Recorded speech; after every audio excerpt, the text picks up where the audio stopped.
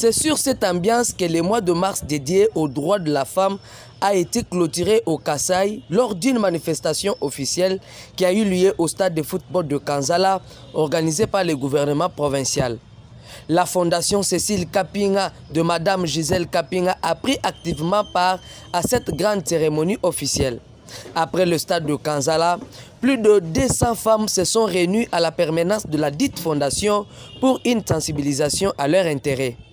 Devant le membre de sa fondation ainsi que plusieurs femmes venues pour la circonstance, la présidente provinciale de la fondation a, au nom du Madame Gisèle Kapinga, expliqué la vision de la fondation Cécile Kapinga qui lutte sur l'autonomisation de la femme congolaise en général et celle du Kassai en particulier.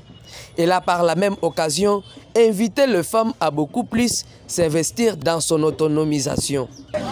Euh, les messages que nous avons apportés aux, mamans qui sont venues ici, c'est pour que les mamans puissent se découvrir.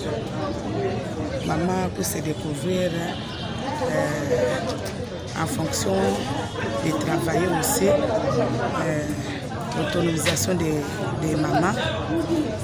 Nous avons fait cela avec les mamans des, des fondations Cécile Kapien.